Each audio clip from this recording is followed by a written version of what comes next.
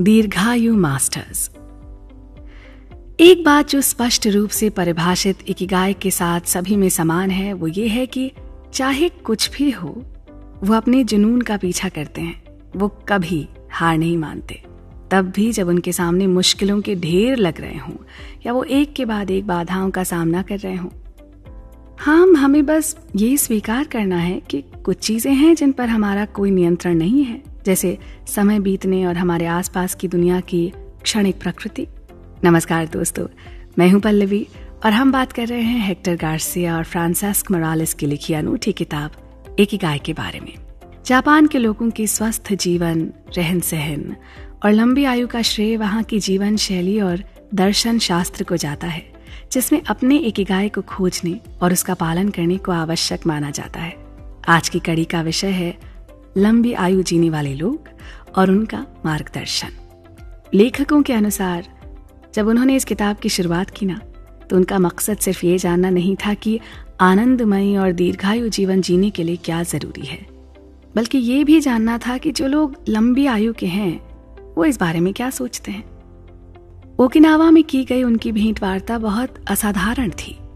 वो कुछ ऐसे लोगों से भी मिले जिनकी आयु 100 सौ वर्ष से भी अधिक थी। ऐसे लोगों को सुपर सेंटनेरियन कहा जाता है। आज की तारीख में विश्व भर में 350 से 400 लोग सुपर सेंटनेरियंस की श्रेणी में आते हैं। ये लोग भले ही सुपर हीरो ना हो, लेकिन एक बात तो तय है कि इन लोगों ने बाकी लोगों से ज़्यादा समय इस पृथ्वी पर बिताया है। इनमें से कुछ लोगों ने अपने लंबे जीवन का राज कुछ यूँ बताया। खाना खाइए, नींद लीजिए और दीर्घायु बनिए। आपको आराम करने की कला सीखनी होगी। अपने अंदर जीने की इच्छा शक्ति रखें और कभी मांसाहार न करें या बहुत कम कर दें। अपने अंदर के बच्चे को जीवित रखें और मज़ाक करने की आदत न छोड़ें। मन और शरीर को सक्रिय रखें। इससे यकीनन आप लंबी उम्र तक जिएँगे। व्यसन रहे जीवन जिए और अपने अंदर की ऊर्जा को बनाए रखें। कला चाहे किसी भी प्रकार की क्यों ना हो, एक एक गाय होती है। यह हमारे जीवन को अर्थ देती है। और अपने साथ खुशी के कई पल लाती है। और सबसे अच्छी बात यह कि ये सभी पल सभी के लिए उपलब्ध होते हैं। जापानी कलाकार होकुसाई अठासी साल की उम्र तक जिए और अपने अंतिम समय तक लकड़ी की वस्तुओं पर छपाई का काम करते रहे।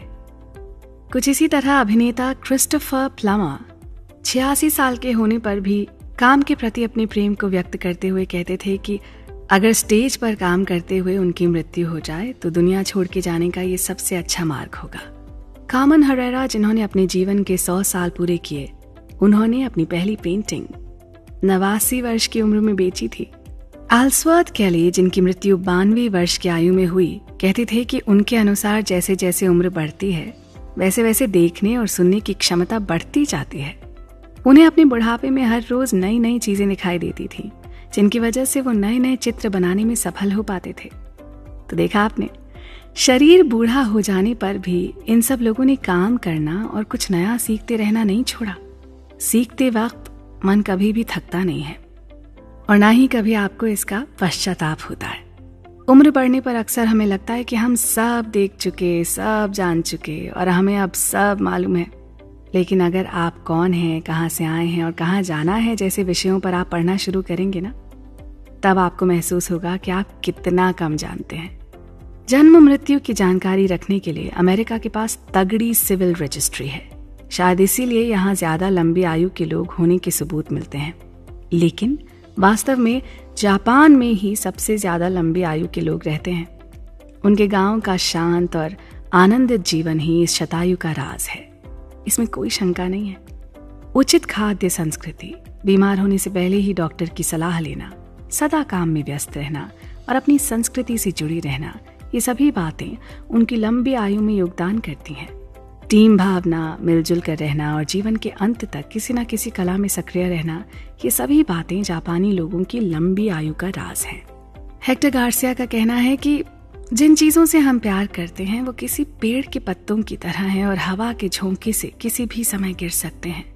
उन्होंने ये भी कहा कि हमारे आसपास की दुनिया में परिवर्तन आकस्मिक नहीं है, बल्कि ब्रह्मांड के सार का हिस्सा है। इस परिवर्तन को स्वीकार करके अपने जीवन का सार ढूंढना ही हमारा एक गाय है। ज़रूरत हो या न हो, सदा सक्रिय रहने के लिए आपको आपका इकिगाई पता होना आवश्यक है। आपका इकिगाई हमेशा आपको आकर्षक और लोगों के उपयोग में आने वाली चीज़ें बनाने के लिए प्रेरित करता रहता है। इस सकारात्मक और प्रेरक किताब के अगले भाग में हम जापान के शतायु लोगों की दी हुई सीख के बारे में बात करेंगे। तो आप बने रहें हमारे साथ। शतायु लोगों की सीख। नमस्कार, मैं हूँ आपके साथ पल्लवी, और ऑडियो बुक समरी में हम बात कर रहे हैं, जापानी जीवन दर्शन पर आधारित एक बहुत ही प्रेरक और प्रशंसनीय किताब के बारे में जिसका नाम है एक ही गाय इस किताब को स्पेन के दो लेखकों हेक्टर गार्सिया और फ्रांसिस्क मोरालिस ने मिलकर लिखा है। इन दोनों ने ही लेखन जगत में बहुत नाम और प्रसिद्धि हासिल की है। व्यक्तिगत विकास और दर्शन शास्त्र पर लिखी इनकी बहुत सी किताबें बेस्ट सेलर्स के रूप में पूरी दुनिया में पढ़ी जाती हैं। जापानी दर्शन और आध्यात्म में ऐसा मानना है कि हर एक के जीवन का एक इकिगाय होता है। इकिगाय हम सब के अंदर छुपा होता है। कुछ लोगों को ये इकिगाय मिल जाता है और कुछ लोग इसकी खोज में लगे रहते हैं। इसके पिछले भाग में हमने जाना जापान के शतायु लोगों के बारे में और इस भाग में हम चर्चा करेंगे खुशहाली और लंबी आयु के लिए जापान के रीति रिवाज और कहावतों के बारे में। जापान के शतायु लोगों पर किताब लिखने से पहले जब लेखक उस छोटे से टापू पर पहुँचे तो उन्होंने वहाँ मौजूद कई लोगों से बातचीत की। उस दौरान वहाँ के बुज़ुर्गों से उनकी लंबी आयु तत्व ज्ञान और गाय के राज के बारे में भी जानकारी हासिल की। उन्हें ये जानकर बेहद बेहद खुशी हुई कि कोई उन पर किताब लिखना और डॉक्यूमेंट्री बनाना चाहता है। उनके बताए कुछ गहन राज इस प्रकार थे। चिंता न करें। लंबी आयु का राज है कभी चिंता न करना। मन से सदा युवा रहना और खुद को कभी बूढ़ा न होने देना। खुले मन से, हँसते हँसते जीवन में आने वाले सभी परिचित और अपरिचित लोगों से मिलना, ताकि हर कोई आपसे मिलने के लिए उत्साहित रहे। चिंता दूर करने का सबसे सरल उपाय है लोगों के साथ घुल मिल कर रहना और उनसे बातचीत करना। वहाँ के कई लोग इस क्रिया को अपनाते हुए आगे बढ़कर सबसे बात करते हैं, दोबारा मिलने के प्लान बनाते हैं और उसके बाद घर पर आकर अपने बगीचे में लगी सब्जियों की देखभाल करते हैं और दोपहर बाद फिर दोस्तों से मिलने निकल जाते हैं। ये लोग मिलने की वजह नहीं ढूंढते और मिलने पर समस्याएँ नहीं ढूंढते। इकट्ठा होना और मज़े करना ही इनका एकमात्र उद्देश्य है। अच्छी आदतें बनाना। लंबी आयु पाने का एक सीधा और सरल तरीका है अच्छी आदतें रखना। जैसे इस टापू के बहुत से लोग सुबह छह बजे उठकर अपने बगीचे में खुद की लगाई हुई सब्जियों और पौधों को देखना बहुत पसंद करते हैं। उनमें जीवन मानकर उनसे बातें किया करते हैं? इस तरह समय बिताकर उन्हें बहुत शांति और खुशी मिलती है। बाज़ार से ना लाकर अपने खाने लायक सब्ज़ी और फल उगाना ही कई लोगों का एक गाय है। बूढ़े होने पर भी अपनी बुद्धि को तेज रखने की कला आपकी उंगलियों में होती है। अपने हाथों को सदा सक्रिय रखें। तो आप यकीनन सौ बरस तक जिएँगे। सुबह चार बजे उठना और कॉफ़ी पीकर हल्का व्यायाम करना कुछ लोगों के लिए अति आवश्यक होता है। हर चीज़ को थोड़ी थोड़ी मात्रा में खाना भी अनिवार्य है। ऐसे में आपको खाने में अलग अलग पदार्थ भी पसंद हो तो सब कुछ कम मात्रा में खाने से कोई दिक्कत नहीं है। हर दिन कुछ ना कुछ काम करते रहना भी ज़रूरी है। आलस से और अधिक थकान होती है और धीरे धीरे अपने आप आपका शरीर काम करना बंद कर देता है। सुबह अपनी पूजा अर्चना के स्थान पर धूप जलाकर, अपनी पूर्वजों का स्मरण करना बहुत ज़रूरी है। दिन की शुरुआत प्रार्थना से की जाए तो दिन अच्छा ही गुजरता है। हफ़्ते में एक बार कम से कम दोस्तों से मिलकर आनंदित होना भी ज़रूरी है। लंबी आयु के लिए ये तीन चीज़ें बहुत ज़रूरी हैं। स्वस्थ शरीर के लिए व्यायाम अच्छा आहार और मित्र परिवार। अपनी दोस्ती को सींचते रहें। उनसे रोज मिलना और गपशप करना इन लोगों के जीवन में ईंधन का काम करता है। ये पता होना कि वो अपने दोस्तों से अगले दिन फिर उसी जगह और समय पर मिलेंगे, कई लोगों के लिए बहुत ज़रूरी होता है। अपनी पसंद के लोगों से नियमित रूप से मिलना और बातचीत करना ही उनकी लंबी आयु का राज होता है। राह चलते स्कूल जाते बच्चों से मुस्कुरा कर बात करना, लोगों को गाड़ी धीमी चलाने की सलाह देना, महिलाओं का अभिवादन करना, ऐसे बहुत से काम हैं जो जापान के लोगों के लिए दिनचर्या का हिस्सा हैं। इत्मीनान से जिए, जल्दबाजी न करें, हर काम की गति थोड़ी धीमी रखें। आराम से और तसल्ली से जीना ही वहाँ के कई लोगों की लंबी आयु का कारण है। समुद्र किनारे मिलने वाली कौड़ियों से सुंदर चीज़ें बनाने वाले कई लोगों के लिए वही उनका एक गाय है। सुबह जल्दी उठकर प्रार्थना और व्यायाम के बाद एक सादा सा नाश्ता करना और उसके बाद काम पर जाना। और जब मन करे तब काम करने के बाद दोस्तों से मिलकर वापस घर लौटना। ये वहाँ के अधिकांश लोगों का रोज का काम है। छोटी छोटी चीज़ों में भी आनंद लेना और हर मौसम में शांति से जीना उनकी लंबी आयु का राज है। और सबसे ज़रूरी बात, सकारात्मक बने। अपने आप को रोज याद दिलाएँ कि आपका आने वाला दिन स्वास्थ्य और ऊर्जा से भरा होगा, जिसका आपको पूरा लाभ उठाना है। कितनी भी उम्र हो जाए, खुद को हमेशा युवा ही समझें और ये मान लें कि अभी आपको बहुत कुछ करना है। दिल खोल कर हंसिए, जहाँ जाइए, खुशियाँ बिखेर कर आइए। अपने आप को सदा सौभाग्यशाली समझिए और जीवन से आपको जो कुछ भी मिला है ना, उसे समाज को वापस लौटाइए। अच्छा जीवन जीते रहना ही लंबी आयु का राज है। तो आप भी इन सब बातों को मन से अपनाइए और अपने जीवन में आनंद का स्वागत कीजिए। हम इस सुंदर किताब पर अपनी ये चर्चा जारी रखेंगे। आप भी बनी रहें हमारे साथ। ईश्वर का अंश। जीवन और दर्शन पर यूँ तो लाखों किताबें लिखी गई हैं, लेकिन जिस किताब पर हम चर्चा कर रहे हैं, उसे पढ़कर और उसमें दिए गए उपायों को अपनाकर दुनिया भर के लोगों ने अपने अंदर कमाल के बदलाव अनुभव किए हैं। जी हाँ दोस्तों, हम बात कर रहे हैं जापानी जीवन दर्शन पर आधारित एक बहुत ही प्रेरक और प्रासंगिक किताब के बारे में, जिसका नाम है इकिगाई। इस किताब को स्पेन के दो लेखकों हेक्टर गासिया और फ्रांसिस मोरालिस ने मिलकर लिखा है और अब तक इस किताब की करोड़ों प्रतियाँ बिक चुकी हैं। नमस्कार, मैं हूँ आपके साथ पल्लवी और आइए चर्चा को आगे बढ़ाते हैं। तो जापानी दर्शन और अध्यात्म में ऐसा मानना है कि हर एक के जीवन का एक इकिगाय होता है। इकिगाय हम सबके लिए होता है और हम सबके अंदर होता है। कुछ लोगों को ये इकिगाय मिल जाता है और कुछ लोग इसकी खोज में लगे रहते हैं। इस बुक समरी के पिछले भाग में हमने जाना जापान के एक छोटे से शहर ओकिनावा में रहने वाले शतायु लोगों की खुशहाली और लंबी आयु के पीछे क्या राज है। ऐसे कौन से नियम, कानून या रीति रिवाज हैं जिनका पालन करके जापान के लोग दुनिया भर में न सिर्फ़ सबसे अधिक जीते हैं, बल्कि सबसे अच्छा जीवन जीते हैं। आइए अब बात करते हैं कि लेखकों की इस टीम ने वहाँ तक पहुँचने का सफ़र कैसे तय किया और उनके शुरुआती अनुभव कैसे रहे। किताब का काम शुरू किए हुए करीब एक बरस बीत चुका था, लेकिन अभी तक इन लोगों ने जापान के इस गाँव में प्रवेश नहीं किया था। इस समूह ने ओगिमी टापू तक पहुँचने के लिए टोक्यो से ओकिनावा की राजधानी नाहा तक पहुँचने के लिए तीन घंटे की उड़ान भरी। उन्होंने कुछ दिन पहले ही वहाँ के मुखिया को फ़ोन करके अपने कार्यक्रम की सूचना दे दी थी और अपने आने का प्रयोजन भी बता दिया था। काफ़ी लंबी चर्चा के बाद ही उन्हें इस काम के लिए अनुमति मिली और फिर उस टापू पर पहुंचकर उन्हें लगा, मानो, समय वहीं थम गया हो, रुक गया हो। क्योंकि वहाँ के लोग सिर्फ़ उसी क्षण में जीने में विश्वास रखते थे। उनकी सड़क की यात्रा भी बहुत सुंदर और सुखद रही, क्योंकि वो जिस रास्ते से जा रहे थे ना उसकी एक ओर समंदर था और दूसरी ओर यान बारू जंगल से भरा हुआ पहाड़। राह में कई सारे छोटे छोटे घर और दुकानें थीं, जो अपने आप में जापानी संस्कृति से परिपूर्ण थीं। अपनी मंजिल पर पहुंचकर उनकी मेजबान तायरा और यूकी नाम की महिलाओं ने उनका स्वागत किया। यूकी अट्ठासी वर्ष की थी और कार चलाकर उन्हें एक होटल में खाना खिलाने भी ले गई। उन्हें अपने कार चलाने के कौशल पर बहुत मान था और वो उनके चेहरे से साफ़ छलक रहा था।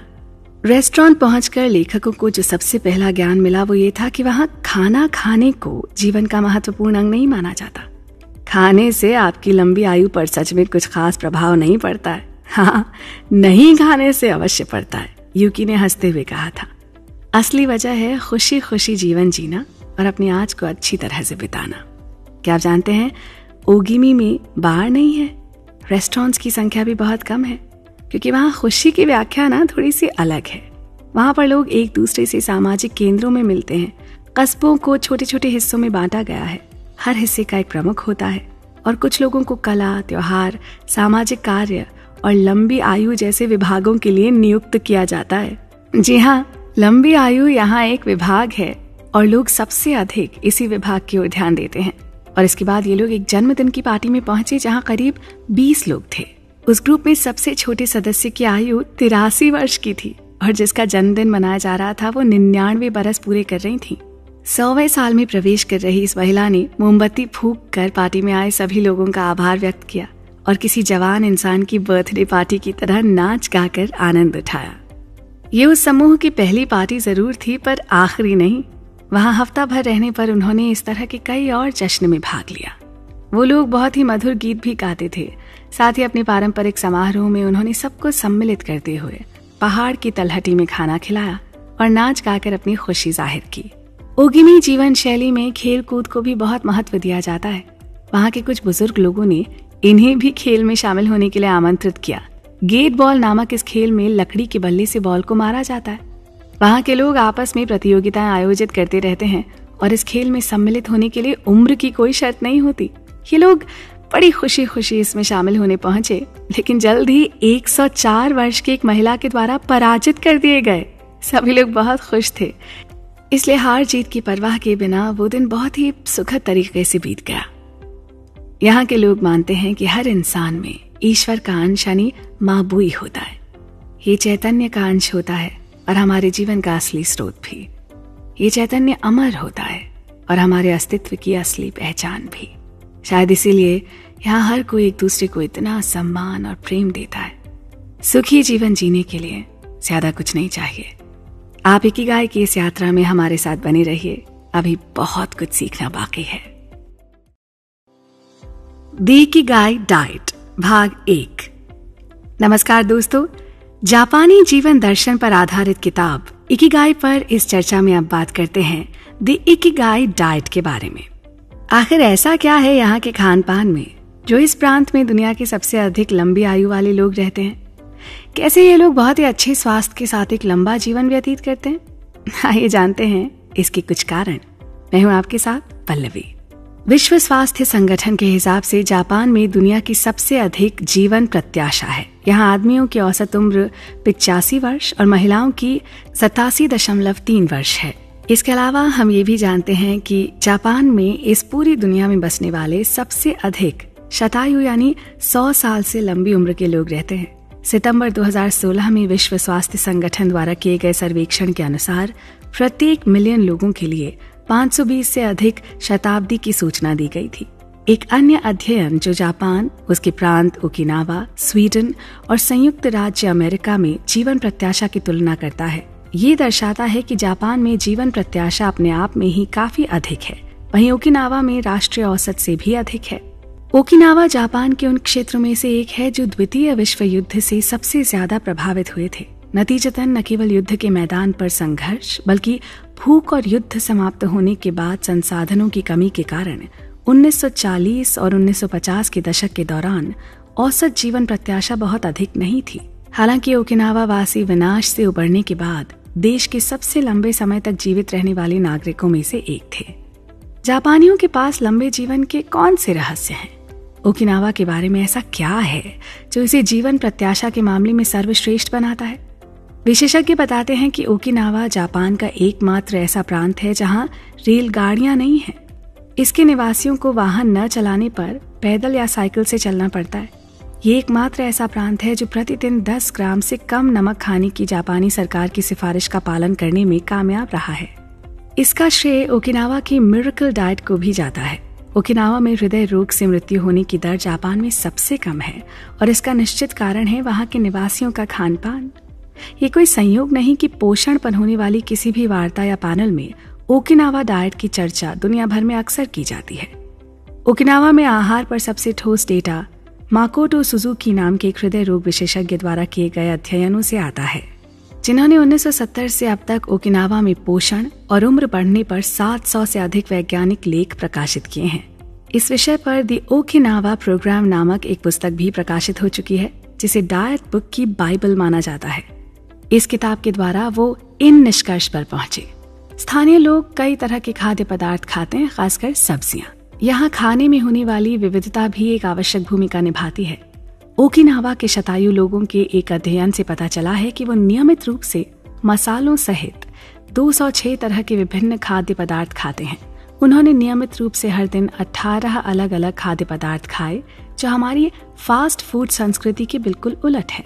वो लोग दिन में सात अलग अलग प्रकार के फलों और सब्जियों का सेवन करते हैं और कम से कम पाँच बार फल और सब्ज़ियाँ खाते हैं।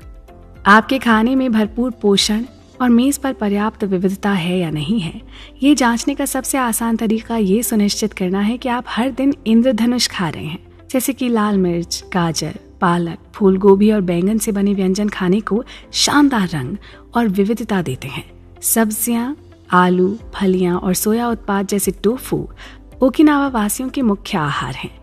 उनकी दैनिक कैलोरी का 30 प्रतिशत से अधिक सब्जियों से आता है। अनाज उनके आहार का आधार है। जापानी लोग हर दिन सफ़ेद चावल खाते हैं कभी कभी नूडल्स डालते हैं। ओकिनावा में भी चावल प्राथमिक भोजन है। वो शायद ही कभी चीनी खाते हैं और अगर खाते भी हैं तो गन्ना चीनी का एक रूप। लेखक समूह ओगिमी जाने के रास्ते में हर सुबह कई बार गन्ने के खेतों से गुजरे और यहाँ तक कि एक जगह रुककर गन्ने का रस भी पिया। जूस बेचने वाले स्टॉल के पास गन्ने के एंटी कार्सनोजेनिक लाभों का वर्णन करने वाला एक बोर्ड भी लगा था। इन बुनियादी आहार सिद्धांतों के अलावा, ओकिनावा के लोग प्रति सप्ताह औसतन तीन बार मछली खाते हैं। जापान के अन्य हिस्सों में सबसे अधिक खाया जाने वाला मांस सुअर का होता है, पर यहाँ के स्थानीय लोग इसे प्रति सप्ताह केवल एक या दो बार ही खाते हैं। माकोटो सुजुकी के किए हुए शोध और अध्ययन से ये बातें सिद्ध होती हैं। सामान्य तौर पर ओकिनावा वासी जापान की बाकी आबादी की तुलना में एक तिहाई चीनी का उपभोग करते हैं। मतलब ये कि मिठाई और चॉकलेट उनके आहार का बहुत कम हिस्सा है। वो जापान के बाकी हिस्सों की तुलना में लगभग आधा नमक खाते हैं। एक आम जापानी के 12 ग्राम की तुलना में हर दिन 7 ग्राम। ये लोग जापान के बाकी हिस्सों की तुलना में बहुत कम कैलोरीज का उपभोग करते हैं। प्रतिदिन दो हज़ार सड़सठ के बजाय सिर्फ़ एक ओकिनावा के साथ साथ दुनिया भर में मौजूद बाकी के ब्लू जोन में भी ये कम कैलोरी की मात्रा का उपभोग आम बात है। तो सुना आपने एक स्वस्थ और सुचारू जीवन के लिए एक सही डाइट कितनी ज़रूरी है? अगले भाग में चर्चा करेंगे देक गाय डाइट के पार्ट टू पर। आप भी हमारे साथ जुड़े रहिए। देक गाय डाइट पार्ट टू भाग दो। जापानी जीवन दर्शन पर अब तक की लिखी गई सबसे सफल किताब गाय की चर्चा हो और गाय डाइट के बारे में विस्तार से बात ना हो। ऐसा तो हो ही नहीं सकता। नमस्कार, मैं हूँ आपके साथ पल्लवी और बात हो रही है हमारे रोज़मर्रा के जीवन के सबसे अभिन्न अंग हमारे भोजन की। जब हम जीवन की दीर्घायु होने की बात करते हैं तो हमारा खान पान उसमें सबसे ऊपर का दर्जा हासिल करता है। जापानी लोगों, विशेष रूप से ओकिनावा के निवासियों की उच्च जीवन प्रत्याशा के बारे में बताते हुए लेखक उनके आहार को श्रेय देते हैं। वो फिर से पहले बताए गए 80 प्रतिशत नियम के बारे में बात करते हैं। एक ऐसा कॉन्सेप्ट जिसे जापानी में हारा हची बू के रूप में जाना जाता है। हारा हचीपू को लागू करने का एक आसान तरीका है, मिठाई को छोड़ना। साथ ही इसे पूरी तरह मानना बहुत मुश्किल नहीं है। जब आपको लगे कि आपका पेट लगभग भर गया है, लेकिन थोड़ा अधिक हो सकता है, बस उसी समय खाना बंद कर दें, या थाली में परोसे गए भाग के आकार को कम कर दें। इसके पीछे का विचार यह है कि जब आप भोजन समाप्त कर लें, तब भी थोड़ी सी भूख रहनी चाहिए। यही कारण है कि पश्चिम की तुलना में जापान में परोसे गए भाग का आकार बहुत छोटा होता है। इसके जगह छोटी छोटी प्लेटों में चावल के साथ दूसरी प्लेटों में सब्ज़ियाँ, एक कटोरी सूप और थोड़ा सा नाश्ता। ऐसी कई छोटी प्लेटों पर भोजन परोसने से बहुत अधिक खाने से बचना आसान हो जाता है और साथ ही इस अध्याय की शुरुआत में चर्चा की गई विविध आहार की सुविधा भी मिलती है। हारा हचिबू एक प्राचीन प्रथा है। जैन बौद्ध धर्म पर बारहवीं शताब्दी की पुस्तकें भी आमतौर पर जितना आप चाहें, उसका सिर्फ़ दो तिहाई खाना खाने की सलाह देती हैं। पूर्व में सभी बौद्ध मंदिरों में एक से कम भोजन करना आम बात है। शायद बौद्ध धर्म ने 900 साल पहले ही कैलोरी सेवन को सीमित करने के लाभों को पहचान लिया था। तो ये तय रहा कि लंबे समय तक जीने के लिए कम खाना खाना चाहिए। शायद ही कोई होगा जो इस विचार को चुनौती देगा। निश्चित रूप से हमारे शरीर की अपेक्षा से कम कैलोरी खाने से दीर्घायु में वृद्धि होती है। बस इसे कुपोषण की चरम सीमा तक न ले जाएँ। कम कैलोरी का सेवन करते हुए स्वस्थ रहने में ही समझदारी है। उच्च पोषण मूल्य यानी सुपर फ़ूड वाले खाद्य पदार्थ खाएँ और उन चीज़ों से परहेज करें जो हमारे कैलोरी सेवन में ढेरों बढ़त करते हैं, लेकिन पोषण मूल्य से बहुत कम प्रदान करते हैं। यहाँ जिस तरह की कैलोरी प्रतिबंध पर चर्चा हो रही है वो आपके जीवन में वर्षों को जोड़ने के सबसे प्रभावी तरीकों में से एक है। यदि शरीर नियमित रूप से पर्याप्त या बहुत अधिक कैलोरी का सेवन करता है तो वो सुस्त हो जाता है और केवल खाना पचाने पर ही महत्वपूर्ण ऊर्जा खर्च करने लगता है। कैलोरी रिस्ट्रिक्शन का एक और लाभ यह है कि ये शरीर में आई जी एफ़ वन, यानी इंसुलिन जैसे विकास कारक के स्तर को कम करता है। आई जी एफ़ वन एक प्रोटीन है जो उम्र बढ़ने की प्रक्रिया में महत्वपूर्ण भूमिका निभाता है। ऐसा लगता है कि मनुष्यों और जानवरों की उम्र का एक कारण उनके रक्त में इस प्रोटीन की अधिकता है। क्या सिर्फ़ कैलोरी प्रतिबंध मनुष्यों में जीवन काल बढ़ा सकता है? यह अभी पूरी तरह से तय नहीं है, लेकिन रिसर्च और डेटा तेज़ी से इस बात का संकेत देते हैं कि पर्याप्त पोषण के साथ थोड़ा सा कैलोरी कंट्रोल मोटापे टाइप टू डायबिटीज़ सूजन, उच्च रक्तचाप और हृदय रोग के खिलाफ एक शक्तिशाली, सुरक्षात्मक प्रभाव डालता है और कैंसर जैसे जोखिम कारकों को कम करता है। हर रोज अगर खाना खाने के 80 प्रतिशत नियम का पालन न कर पाने की स्थिति में एक विकल्प है कि प्रत्येक सप्ताह में एक या दो दिन उपवास किया जाए। Five two the ratio two उपवास आहार हर हफ़्ते दो दिन उपवास करने और अन्य पाँच दिनों में सामान्य रूप से खाने की सलाह देता है। इसके कई लाभ हैं, जैसे कि इस तरह का उपवास पाचन तंत्र को साफ़ करने में मदद करता है और पेट को भी थोड़ा सा आराम देता है। ओकिनावा डाइट प्राकृतिक एंटीऑक्सीडेंट से भरपूर होती है। ये एंटीऑक्सीडेंट्स कोशिकाओं में ऑक्सीकरण प्रक्रिया को धीमा करते हैं और शरीर को नुकसान पहुँचने वाले और उम्र बढ़ने में तेज़ी लाने वाले मुक्त कणों को निष्क्रिय करते हैं। जैसे कि ग्रीन टी की एंटीऑक्सीडेंट शक्ति सब जानते हैं। और इस पर बाद में अधिक विस्तार से चर्चा की जाएगी। क्योंकि ये एंटीऑक्सीडेंट में समृद्ध हैं और इस क्षेत्र में लगभग हर दिन खाए जाते हैं, इसलिए इन पंद्रह खास खाद्य पदार्थों को ओकिनावा में जीवन शक्ति की कुंजी माना जाता है।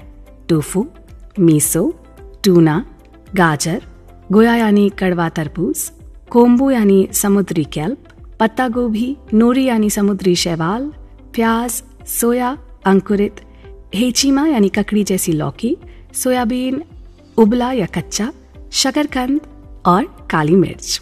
शिकुवासा ओकिनावा का बहुत ही उच्च कोटि का एक खट्टा फल है और ओगिमी पूरे जापान में इसका सबसे बड़ा उत्पादक है। इसके रस को पहले पानी से पतला किए बिना पीना असंभव है। इसका स्वाद कहीं कहीं नींबू और मैंडरिन संतरे के बीच का होता है, जिनसे ये एक पारिवारिक समानता रखता है। इसमें उच्च स्तर के एंटीऑक्सीडेंट्स भी होते हैं। सभी खट्टे फल जैसे कि अंगूर, संतरा, नींबू आदि में नोबलेटन की मात्रा अधिक होती है। लेकिन ओकिनावा के शिकुवास में संतरे की तुलना में 40 गुना अधिक होती है। नोबलेटन का सेवन हमें कैंसर टाइप टू डायबिटीज़ और मोटापे से बचाता है। इनका उपयोग कई पारंपरिक व्यंजनों और भोजन में स्वाद जोड़ने के लिए किया जाता है और रस बनाने के लिए इन्हें निचोड़ा जाता है। शहर में जन्मदिन की पार्टियों में शोध करते समय लेखक की टीम को भी शिकुवासा केक खिलाया गया था। एक गाय पर चर्चा भी बाकी है। आप भी बने रहे हमारे साथ।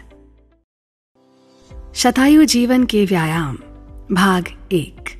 नमस्कार दोस्तों, मैं हूँ आपके साथ पल्लवी और हमारी चर्चा का विषय है जापानी दर्शन को बहुत ही खूबसूरती से समझाती पूरी दुनिया में प्रसिद्ध किताब एक गाय इस बेस्ट सेलिंग किताब को लिखा है हेक्टर गार्सिया और फ्रांसिस्क मोरालिस की जोड़ी ने, जो कि स्पेन के रहने वाले हैं। आज की चर्चा का विषय है, स्वस्थ और शतायु जीवन के लिए कुछ आसान से व्यायाम। ब्लू जोन के अध्ययन से पता चलता है कि जो लोग सबसे लंबे समय तक जीवित रहते हैं, वो सबसे अधिक व्यायाम करने वाले नहीं होते, बल्कि सबसे अधिक चलने वाले होते हैं। जी। जब लेखकों ने दीर्घायु गाँव, उगिमी का दौरा किया तो उन्होंने पाया कि 80 और 90 वर्ष से अधिक उम्र के लोग अभी भी सक्रिय हैं। वो घर पर खिड़की से बाहर देखते हुए या अखबार पढ़ते हुए नज़र नहीं आते। उगिमी के निवासी बहुत चलते हैं। अपने पड़ोसियों के साथ कैरियोकी करते हैं, सुबह जल्दी उठते हैं, और जैसे ही उन्होंने नाश्ता किया या उससे पहले भी, अपने बगीचे में घास काटने के लिए बाहर जाते हैं। वो जिम नहीं जाते या गहन व्यायाम नहीं करते, लेकिन वो अपने दैनिक दिनचर्या के दौरान लगभग कभी भी चलना बंद नहीं करते। अगर हम किसी शहर में रहते हैं तो हमें हर दिन प्राकृतिक और स्वस्थ तरीके से चलना मुश्किल हो सकता है, लेकिन हम ऐसे व्यायाम कर सकते हैं जो सदियों से शरीर के लिए अच्छे साबित हुए हैं। शरीर, मन और आत्मा को संतुलन में लाने के लिए पूर्वी अनुशासन पश्चिम में काफ़ी लोकप्रिय हो गए हैं। लेकिन उनके मूल देशों में स्वास्थ्य को बढ़ावा देने के लिए उनका उपयोग सदियों से किया जाता रहा है। योग मूल रूप से भारत से है, लेकिन जापान में बहुत लोकप्रिय है। और चीन के चिंगोंग और ताइची किसी व्यक्ति के शरीर और दिमाग के बीच सामंजस्य बनाने की कोशिश करते हैं ताकि वो ताकत, खुशी और शांति के साथ दुनिया का सामना कर सके। उन्हें युवाओं के अमृत के रूप में जाना जाता है और विज्ञान ने इस दावे का समर्थन किया है ये हल्के व्यायाम असाधारण लाभ प्रदान करते हैं और विशेष रूप से उन वृद्ध व्यक्तियों के लिए उपयुक्त हैं जिन्हें फिट रहने में समय लगता है अन्य बातों के अलावा ताइची को ऑस्टियोपोरोसिस और पार्किंसंस रोग के विकास को धीमा करने, मांसपेशियों की टोनिंग और लचीलेपन में सुधार करने के लिए इसके भावनात्मक लाभ उतने ही महत्वपूर्ण हैं। ये तनाव और अवसाद के खिलाफ एक महान ढाल है। आपको हर दिन एक, हर दिन एक घंटे जिम जाने या मैराथन दौड़ने की ज़रूरत नहीं है। जैसा कि जापानी शतायु हमें दिखाते हैं, आपको बस अपने दिन में हलचल जोड़ने की ज़रूरत है। इसमें से किसी भी पूर्वी अनुशासन का नियमित रूप से अभ्यास करना, ऐसा करने का एक शानदार तरीका है। रेडियो ताइसो एक ऐसी ही शारीरिक गतिविधि है, जिसकी चर्चा लेखक ने इस किताब में की है।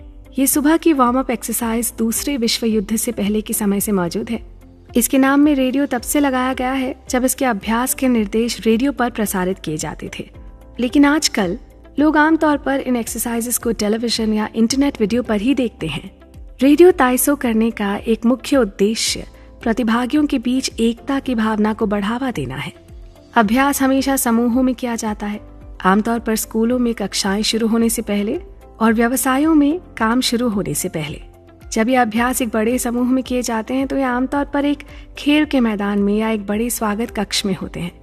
और आमतौर पर इनमें किसी प्रकार का लाउड स्पीकर शामिल होता है।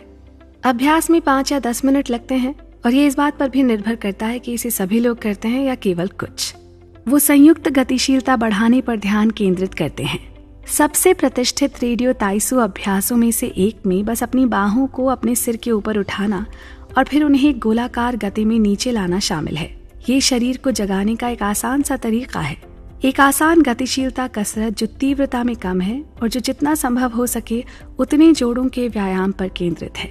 ये सुनने या देखने में बहुत ही बुनियादी लग सकता है, लेकिन आजकल के हमारे जीवन में हम अपने कानों के ऊपर अपनी बाहों को उठाए बिना पूरा का पूरा दिन बिता सकते हैं। इसके बारे में ज़रा ध्यान से सोचें। किताबें पढ़ते समय, स्मार्टफ़ोन का उपयोग करते समय या कंप्यूटर पर कुछ लिखते या पढ़ते समय हमारी बाहें हमेशा नीचे होती हैं।